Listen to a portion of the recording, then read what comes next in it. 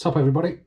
Thought I'd do a video today on the ISDT FD200 200 watt smart discharger.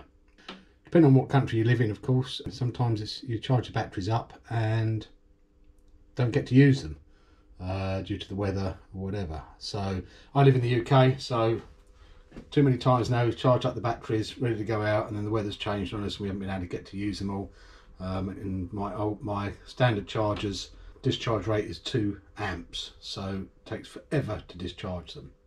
So I'm going to do a quick unboxing and a review of this from ISDT before we get into it if you like what we're doing please subscribe to us. Thank you to everybody that has subscribed. We've just gone over 200 subscribers so thank you very much. Um, if you do want to continue the journey with us um, please hit the subscribe give us a like turn on the notifications and give us any comments below. Okay, we'll put a link to this in the description below. Um, but let's open up and see what it's all about.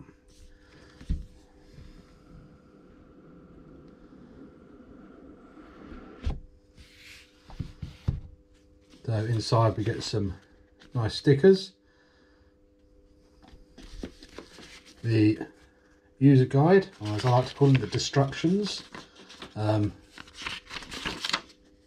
have a look through those. Um, and then the actual discharger itself. Now I have opened this up already. Um, you do also get some feet to put on it. Um, and you need those because it stops the vibrations. Um, but overall, nice solid feel to it very heavy. Um, it's basically a giant heat sink um, with a couple of fans in there. Okay so how do we actually use it? The first thing i would recommend you do is go to the uh, app store and download the isdt go application. And once you've downloaded that um, fire it up and you can connect via Bluetooth to the FD200 discharger. Um, I have done that already. I've called mine Spike 1, as you can see here. Um, and we literally tap on that. That then brings up the screen. So now what we need to do is obviously power up the discharger. Um, it comes with XT60 connector. So depending on what connectors you're using, you will need an adapter. I use XT90s. So an XT90 adapter here. Plug that in. Um, and I'm going to discharge this 4S 5500 um, Rapid LiPo.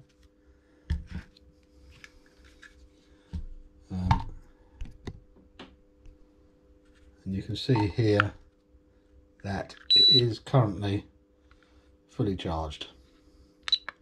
All four cells 4.186 4.2 4.201 and 4.21 so that is a fully charged lipo battery 4s 5500 milliamp hours. So now we plug it in and then simply press this button here and that turns it on. The application now finds the discharger and brings up the information on it. Um, so as you can see it's showing at 6.77 volts.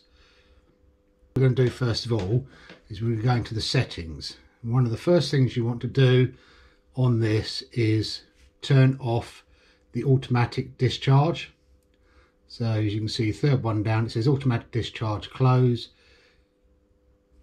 Now what that does is, um, instead of automatic discharging after about 15 seconds, I think it is, on the discharger, um, you actually have to stop the discharge function. You can set up preset tasks. So on the bottom one here, press preset tasks. Now I've set up two at the moment, one for 3S storage, one for 4S storage. So that's discharging to storage. Um, we can add in another one here. And as you can see down the bottom, you can put down what your discharge current is. You have various options here. You can go from 0.5 amps all the way up to 25 amps. Cut off voltage, where you want it to cut off. You can go from 3 volts all the way up to 4 volts.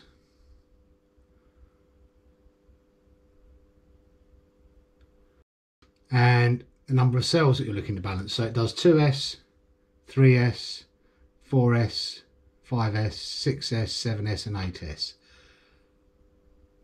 Okay, I won't save this one because I only have 3 and 4S batteries, so I've got those already. So now what we're going to do is we are going to discharge this. I will also plug in the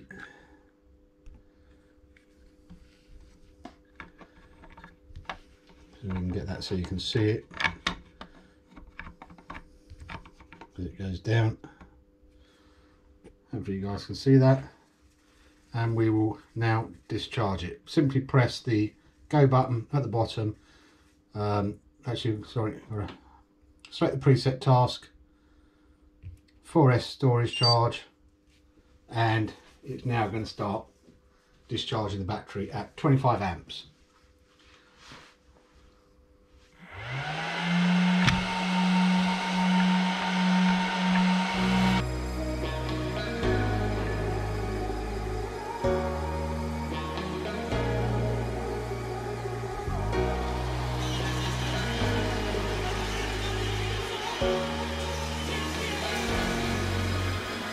Got enough of every melody, they all sound the same. Yeah. For my broken heart, no remedy, but maybe if you stay, we can get away with it. Cause you make me love my imperfections, answer all my passions.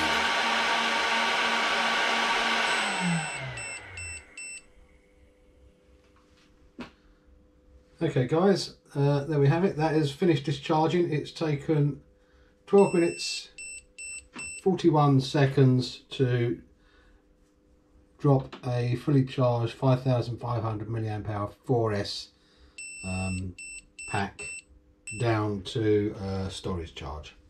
Okay, um, and one of the things you may have noticed is that obviously when you connect it, you're not connecting any balance leads. Um, I was a bit concerned at that to start off with, but I've run it through a few times and you can see here that every cell is actually still extremely well balanced. Um, so we've dropped down now to 15.43 volts overall. Cell 1 is at 3.853. Cell 2 is at 3.859.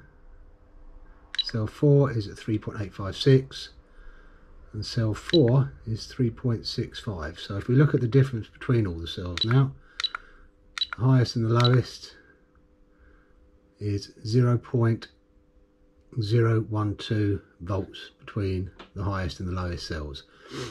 So still fairly well balanced um, after discharging them.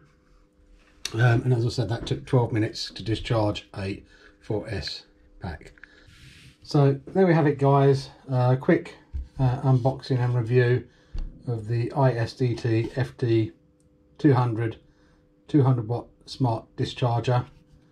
Um, I'm extremely happy with it.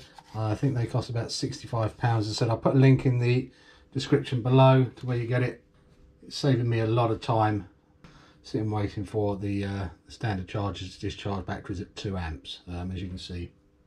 10, 10 to 12 minutes to discharge down from, from fully charged to storage charged uh, for each pack. Hope everyone's keeping safe, not going too mad out there. Hope you enjoy what we're doing. Uh, in the comments, leave them in the comments below. Give us a like if you like what we're doing and hit the subscribe button um, and we'll see you on the next one. Take care everyone.